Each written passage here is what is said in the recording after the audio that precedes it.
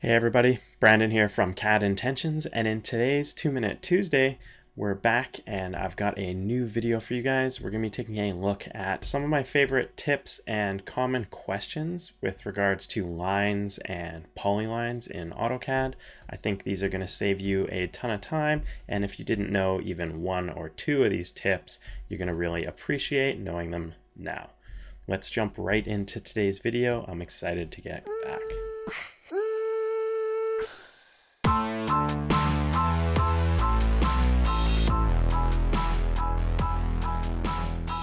Alright, so as I mentioned, we're going to be taking a look at a few common tips and then kind of questions and fixes when it comes to lines and polylines in AutoCAD. The first one we're going to check on here is a line type that isn't generating or showing up properly.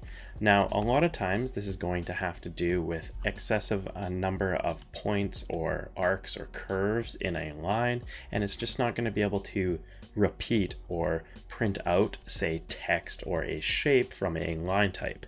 Now, this can be solved in a few different ways.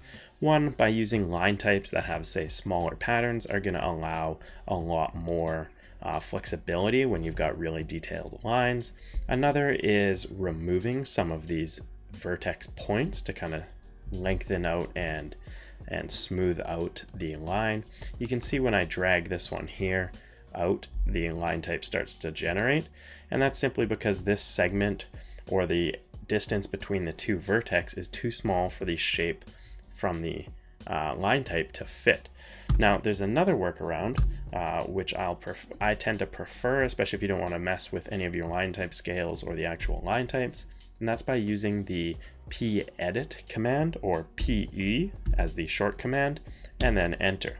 It's going to ask you to select a polyline. You can also hit M to select multiples.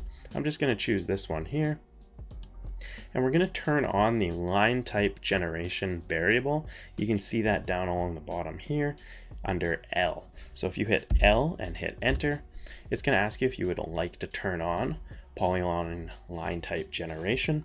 And you're just going to type ON for on and hit enter you can see now that it has forced the gas uh, symbol to follow the polyline a lot better. Uh, it's also kind of added it in where these segments were too short. This is going to fix 99% of your line type issues when you're running into line type symbols or text not displaying properly.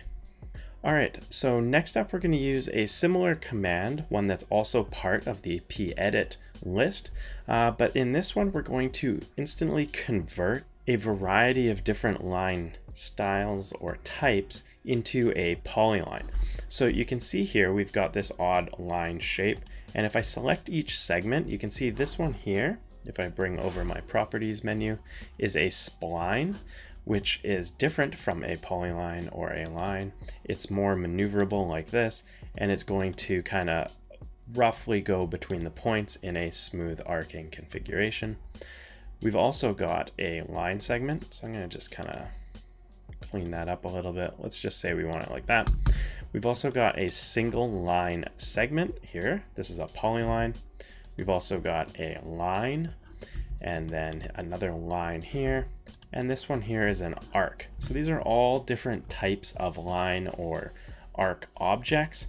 And what you can do with the pedit command, so by typing pe, we can join all of these together, converting them to a polyline in the process. So in this case, we're going to type M for multiple and hit enter, and we're simply going to select all of these objects.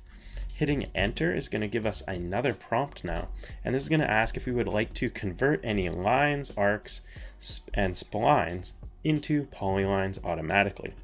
Type Y and hit enter for yes, and then it's going to ask you for a precision for your spline, and that's simply how tightly packed it's going to add vertexes to continue this shape here. Uh, you can leave it the default. You can turn this up or down depending on how yours looks and how detailed you want the spline to be converted into a polyline. But again, it's simply taking those smooth arcs and curves and converting them into smaller line segments. I'm going to leave it at the default for now and hit enter. And now we're at our normal p-edit menu. And what you're gonna wanna do here before you hit enter and leave is type J to instantly join all of these polyline segments into a single polyline. Hitting enter is going to ask us for the fuzz distance, and this is kind of the tolerance between the endpoints of these lines that you're going to allow while joining. So it'll fill small gaps if you increase this fuzz distance. You can add a few inches or an eighth of an inch here if you would like. I'm just gonna hit enter since I know all of mine are connected vertex to vertex, and we're done. You can see down at the bottom here, it added 26 segments to a single polyline. Hitting enter is going to get you out of the command or hitting escape. Now you can see when we select our line, it's all been converted into a single polyline and they are all connected along this odd shape.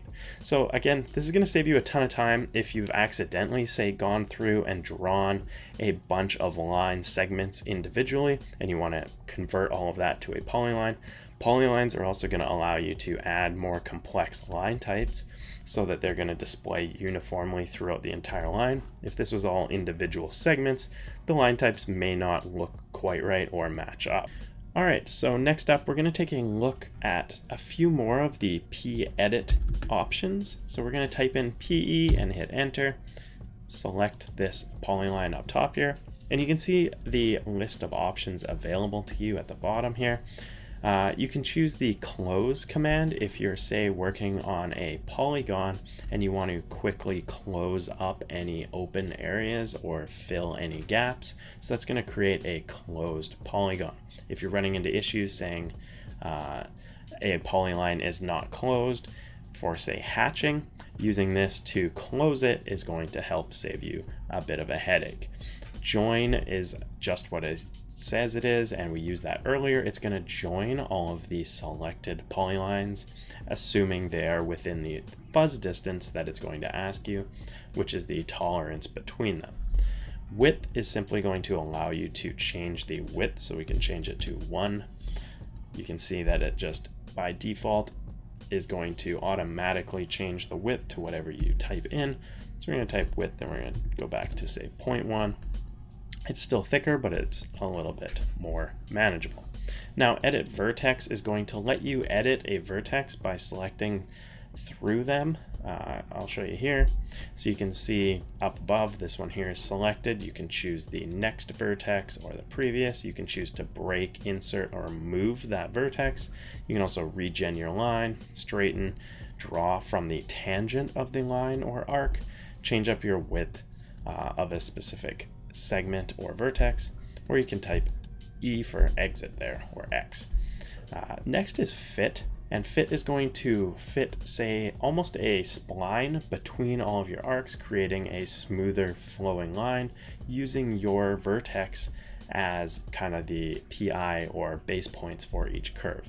Now you can see what this will do when I click fit here. You can see it's just smoothed out our line using those vertex points and basically linking arcs between them. You can undo that command by hitting the undo button here and redo it. You can also convert your uh, vertices to a spline by clicking the spline option.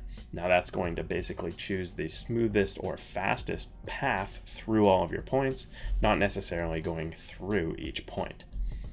Uh, next is decurve, which is going to basically remove all of those curves you can add in fit or spline. And then the last two, uh, line type gen, we've already gone over, and reverse is simply going to flip or reverse the direction of your line, at least in AutoCAD's mind. It's not going to actually change the line, but if it's saying going from left to right as you drew it, it would then be going from right to left. Now this is going to matter uh, mostly only with line types. So if you have say a swale or a directional arrow kind of line type, reversing it is going to flip the direction. Same as if you have say a top or bottom of slope line type with little hash marks along it, reversing it is going to flip those to the other side of the line. Now that's it for p-edit, but in our next tip, we're gonna take a look at a few other options to speed up editing your polylines as you work. But before we jump into that, I wanted to remind you guys that if you wanted to learn more AutoCAD tips, tricks, and workflows, you should check out my AutoCAD Fundamentals and Workflows in a Hurry course, which is available for instant download to watch right now at the link up above and down in the description. It's discounted for viewers like yourself and subscribers right now using those links. It's packed full of over 10 years of my experience uh, condensed down to a handful of videos that are going to teach you the fundamentals of AutoCAD as well as a ton of workflows and tips and tricks that are going to save you time as you produce your drawings. It's really going to jumpstart your CAD skills and I highly recommend it. Alright, so for our last tip, I wanted to show you guys a few quick commands when working with polylines or lines that are going to save you time. The first one is the trim command. So if you're trying to make a clean edge or corner of a line intersection, typing in TR for trim and selecting your objects, you can now trim using these as your kind of edges. So I've hit enter again, and now you can see it's gonna highlight what's gonna happen if I click on any of these line segments. So they're gonna trim off of using each other as kind of the cutting plane. So you can see I can very quickly draw a box just by trimming all of these corners off. Now that may or may not be quicker, but when you're working fast through a drawing, running lines through each other, uh, especially if you're trying to do things like this or like run them through a corner. Uh, this is going to speed things up rather than trying to find exact points, just running lines past each other and then trimming them later to make a nice clean box. You can then use the join command. Typing in join, selecting all of your objects and hitting enter is going to automatically create a polygon out of your polyline that is now closed and connected. All right, so lastly, we can also use the extend command to speed up our drawing process in a similar way. Maybe we want, we have a few lines over here, maybe they're property lines or something, and you have another one over here, and say you've got a line like this over here. So you want to extend your line into a nearby line, simply typing extend or EX for the short command and selecting your objects, hitting enter. You can now go and hover over these lines and they're going to extend automatically into the next line that you've selected. This is going to save you a ton of time. Simply doing this uh, more often is going to cut corners on your drawing uh, time. You can see here I've selected all these lines, hit enter, and now I can simply extend all of these so that they connect to the outer boxes. You can then go and use your trim command to trim some of these away. Maybe you want to make a few more edits like that. So you can see how quick these commands can make drawing.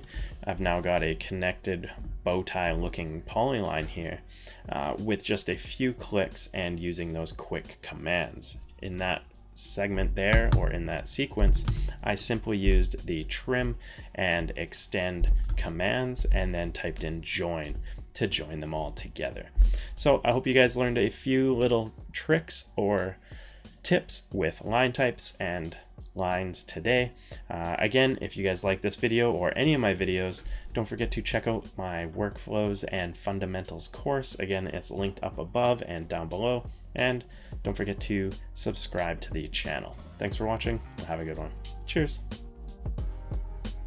Thanks for watching the video. Hope you guys enjoyed it. Uh, be sure to check out my last video right here. Uh, and don't forget to subscribe up here to make sure you're up to date and you see all my new videos. Thanks again. Cheers.